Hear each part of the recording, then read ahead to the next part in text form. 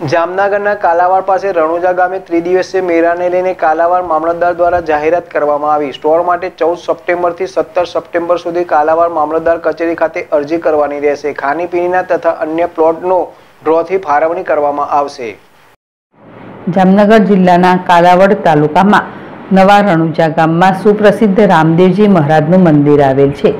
જ્યાં ભાદરવા મહિનામાં ત્રિદિવસીય ભાતીગર મેળો યોજાય છે. દર વર્ષની જેમ આ વર્ષે પણ આગામી ચોવીસ સપ્ટેમ્બરથી છવ્વીસ સપ્ટેમ્બર સુધી નવા રણુજા ગામે મેળો યોજાશે. જ્યારે મેળાના ધંધાથી લોકોમાં સ્ટોલ માટેની વ્યવસ્થા કરવામાં આવી છે, જે માટે આગામી ચૌદમી સપ્ટેમ્બરથી સત્તર સપ્ટેમ્બર સુધીમાં અરજી ફોર્મ બે પાસપોર્ટ સાઇઝના ફોટા તેમજ આઈડી પ્રૂફ સાથે કાલાવડ મામલતદાર કચેરી ખાતે અરજી મેળવી લેવાની રહેશે. અરજી ફોર્મ અઢાર સપ્ટેમ્બરના બપોરના એક વાગ્યા સુધીમાં રજૂ કરવાના રહેશે. તેમજ મેળામાં ધંધા માટે નિયત કરેલ અરજી ફોર્મમાં લાયસન્સ મેળવવા અલગથી અરજી કરવાની રહેશે તેમજ પ્રાઇમ લોકેશનવાળા યાંત્રિક જાહેરાત, પાર્કિંગ તથા આઈસ્ક્રીમના પ્લોટની હરાજી કરવામાં આવશે.